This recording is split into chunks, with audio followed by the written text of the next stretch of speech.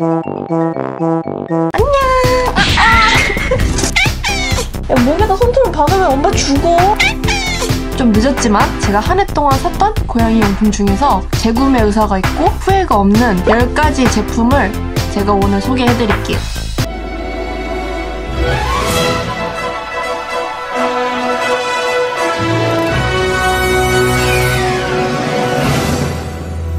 먼저 첫 번째로 추천해드릴 제품은 스튜디오 올리브 물그릇입니다.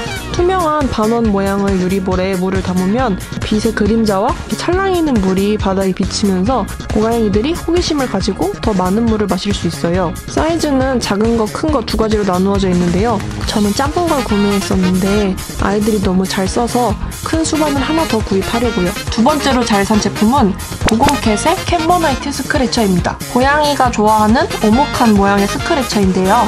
뒤쪽은 캣닙 파티를 할 때 catnip을 뿌려주라고 하더라고요. 가리가리 캣서클과 비교했을 때 고공캣을 훨씬 많이 사용했어요. scratcher 하나에 막 두 마리, 세 마리 올라가 있으니까 이건 제가 하나 더 구입을 했어요. 아이들이 너무 편하게 잘 쓰고 있는 것 같아서 되게 만족스러운 제품입니다. 세 번째 제품은 제가 아마존으로 직구했던 SnugglyCat이라는 터널형 제품인데요. 카페트 재질로 되어 있어서 아이들이 몸을 비비기도 좋아하고 잠도 여기서 자더라고요. 찌기를 떼었다 붙였다 하면서 터널 모양을 계속 바꿔줄 수 있는데 아이들이 많이 쓰다 보니까 터널이 밑으로 꺼지긴 했어요.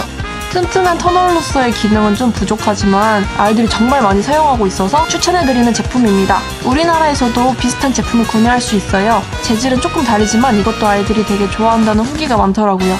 네 번째는 와디즈 펀딩으로 구입한 대자연 뿜뿜 터널입니다. 일단 대자연 뿜뿜 터널은 되게 예뻐요. water hyacinth 대나무로 만든 핸드메이드 제품인데요. 이게 하나만 있으면 좀 짧고 굴러다녀서 저는 두 개를 이어서 사용을 했어요. 아이들이 막 쓰고 뜯고 scratcher로 사용을 해서 반대쪽은 완전 아작이 났어요. 지금 뒤집어서 쓰고 있는 거예요. 펀딩이 끝났지만 지금도 인터넷에서 저렴하게 구입할 수 있어요. 다섯 번째는 고양이 낚싯대인데요. 이렇게 생긴 3단 낚싯대예요. 원래 이렇게 짧은 낚싯대였다가 이렇게 당기면 3단으로 늘어난 낚싯대. 되게 탄성도 좋고 기계가 길어서 더, 더 난리나게 놀 수 있어요. 이 끝에 미끼만 바꿔주면 되고 이 낚시끈도 파는 곳이 되게 많아요. 이것만 소모품으로 계속 갈아주면 오랫동안 쓸 수 있는 제품입니다. 여섯 번째 제품은 제가 쓰는 거긴 한데 좌식 의자입니다. 용품 설명하다가 갑자기 사람 의자가 나와서 의아하실 텐데 고양이 이렇게 안고 바닥에 앉아 있을 때나 낚싯대 흔들어 줄 때 많이 사용을 해요. 저희 고양이들은 새벽에 특히 많이 울어서 새벽에 막 안아서 부둥부둥 해줘야 되는데 그럴 때 저 의자에 앉아서 해주고 있어요. 이 좌식 의자를 샀는데 진짜 삶의 질이 올라갔어요. 근데 제가 없을 때는 고양이들이 올라가서 누워있던데요? 다음 일곱 번째 제품은 이 밴드입니다. 이 밴드가 왜 추천 제품이냐 하면 고양이들한테 진짜 많이 핥힘을 당하는데 이게 막 화나서 핥히는 게 아니라 저를 디딤판으로 삼고 뛰어가서 제 다리가 아작이 나고 있어요. 이게 되게 조그마한 방수 밴드인데 상처가 되게 빨리 아물고 일단은 붙이고 있으면 아프지가 않아요. 이거 쿠팡 로켓 배송으로 급하게 산 거예요. 제가 상처가 너무 많이 피가 막 철철 나가지고 제가 이걸 급하게 샀는데 진짜 좋아서 완전 강추합니다. 다음 추천드릴 제품은 이 유리 그릇이에요.